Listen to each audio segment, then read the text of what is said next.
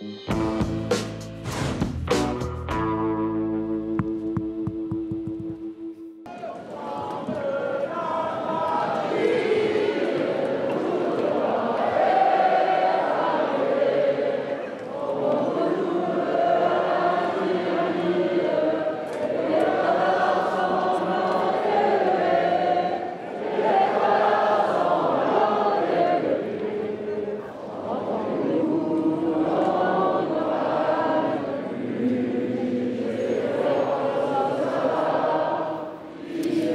Bonjour à tous. Écoutez, euh, c'est un moment magique hein, pour la dernière, euh, dernière émission de la quinzaine, cette euh, quinzaine magnifique.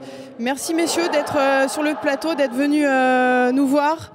Quand on entend justement cette Marseillaise, là en vous parlant, j'en ai des frissons, même les larmes aux yeux.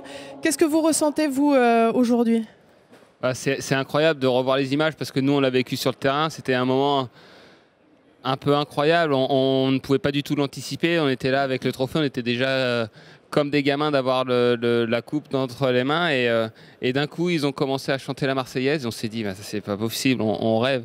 Et du coup, ça a rajouté encore un petit peu de magie à, ce moment qui était déjà incroyable. Euh, on est vraiment, vraiment, vraiment privilégié d'avoir vécu ce moment-là. Effectivement, Pierre-Hugues, quand euh, tu as déclaré il y a quelques temps, notamment à, Monte-Carlo, quand vous avez fait premier tour au fils de Nico, mais t'inquiète, on va gagner Roland. Euh, tu l'as dit vraiment en le pensant ou tu t'es dit ah, j'ai sorti une phrase quelque part, c'est peut-être une folie? Non, mais je, le pensais forcément. Après, euh, après faut le faire. Euh, mais je sentais qu'avec Nico, depuis le début de l'année, on n'avait pas forcément été récompensé des efforts qu'on avait mis sur le début d'année. On jouait bien. Il y a eu pas mal de matchs qu'on n'avait pas réussi à gagner alors qu'on était proche.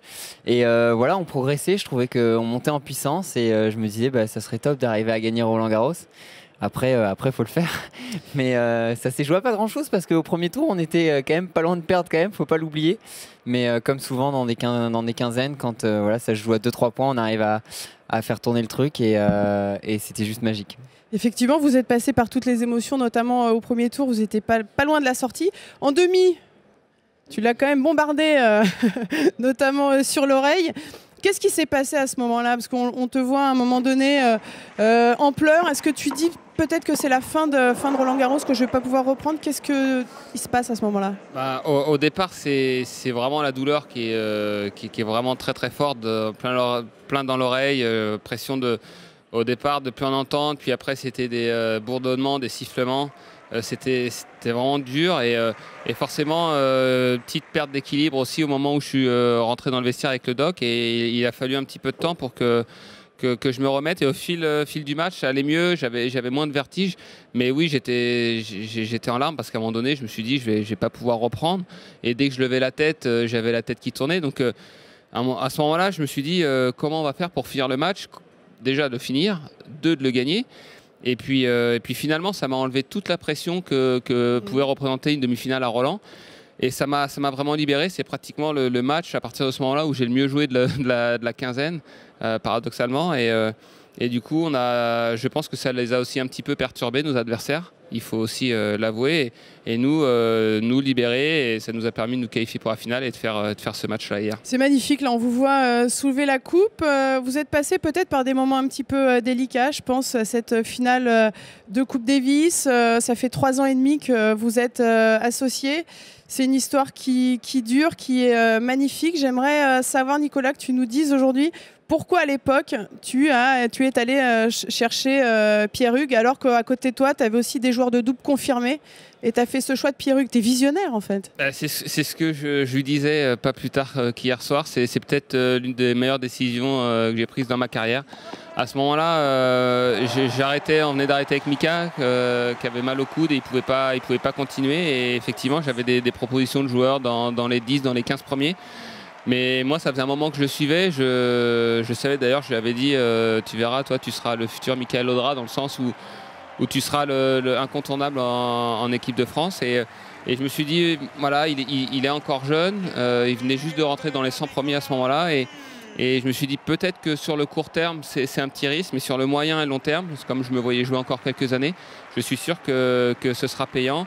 Et au-delà de la qualité du, joueur, j'avais envie de construire aussi une relation et, je, sentais que qu'on allait qu'on allait fitter tous les deux et et voilà, j'ai voulu tenter l'aventure et, je crois que je crois qu'on a bien fait. Ça marche très bien. C'est vrai que Pierruc, quand euh, Nicolas dit, euh, je voyais en toi justement une carrière à la, à la notamment avec euh, voilà une place en équipe de France et que tu deviennes en fait que tu sois le joueur incontournable. C'est un petit peu ce qui se passe aujourd'hui actuellement. Comment tu vois la suite de ta carrière avec le simple?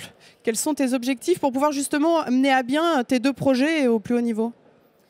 Euh, bah, c'est vrai que c'est un, un, petit casse-tête quand euh, sur, le, sur le circuit il faut jouer euh, simple et double. Aujourd'hui, effectivement, j'ai 27 ans, donc c'est le moment bah, de tenter sa chance aussi en simple. Je sens que je fais des progrès. Et voilà, il faut, il faut arriver à gérer les deux. C'est, voilà, on s'était posé aussi en fin d'année dernière avec Nicolas pour, pour parler de ça. Et, euh, euh, donc voilà, je pense que pour l'instant, euh, bah, sur le début de saison, c'est vrai que j'ai un petit peu moins, moins joué. c'est un peu, voilà, les occasions sont un petit peu moins présentes pour, pour, être, pour être bon, mais par contre, quand on est bon, on arrive à, on arrive à bien jouer. Et donc voilà, euh, après, euh, c'est. Euh, qu'est-ce qu'il y a Pourquoi tu te marres Pourquoi ça te fait rire Quand on est bon, on arrive à bien jouer, ça me fait rire. Non, mais. Il va te reprendre maintenant. Parce qu'en fait, Nicolas. La nuit a été courte, Nicolas, sois tolérant un petit peu. Nicolas, il a, pris, il a pris une baille il y a deux jours, mais moi je suis dans le même état, mais pas pour les mêmes raisons ce matin. Donc ça va être difficile de parler. C'est pour ça que ça me fait rire. Et, et euh, non, il faut gérer, il faut se dire les choses. C'est euh, voilà, tu as, parlé avant de, ça fait trois ans et demi en fait que je suis en couple avec Nicolas Mahut. Donc euh, j'ai ma copine à côté, j'ai Nicolas. Et comme dans tout couple, il faut se dire les choses, il faut il faut se parler. Ça, ça a été un thème en début d'année, et je pense qu'on l'a plutôt bien géré. Euh, et, aujourd'hui, on joue un petit peu moins, mais quand je joue, on est au taquet et euh, on, se laisse, euh, on se laisse des chances de, faire des belles choses comme on a réussi à faire cette semaine. en tout cas, messieurs, merci de nous avoir fait vivre toutes ces émotions. Je souhaite que votre couple dure le plus longtemps possible. Jusqu'à quelle noce vous espérez aller, aller fêter? Écoute, je sais pas déjà combien de temps moi je serai sur le circuit, mais en tout cas, j'espère arrêter ma carrière avec Pierre Hugues à mes côtés. Donc je sais pas encore combien d'années, mais le plus longtemps possible. Bah, écoutez, euh, je vous souhaite le meilleur. Vous avez gagné euh, le double hier à Roland Garros. Il y a également en tennis fauteuil Stéphane Houdet et Nicolas Peffer qui ont remporté le titre. Quant à moi, bah, écoutez, je vous remercie. Je remercie euh, tout le monde, la régie, les personnes qui m'ont supporté durant cette quinzaine. Ça a été un vrai bonheur que j'ai partagé en votre compagnie. Puis je vous dis à l'année prochaine et une très belle finale tout à l'heure entre Tim et Nadal. Merci à tous. Au revoir.